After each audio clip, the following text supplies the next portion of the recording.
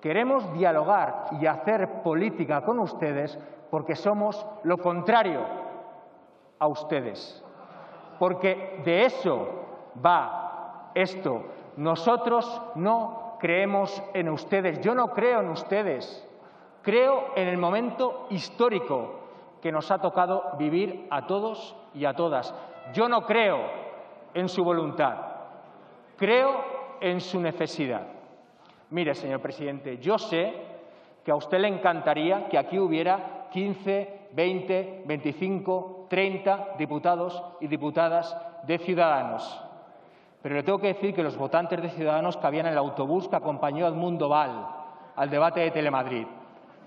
Y sobre todo le tengo que decir que en Madrid ganó la izquierda a su izquierda. Y espero que tome nota, tanto usted como sus rapsodas de Moncloa.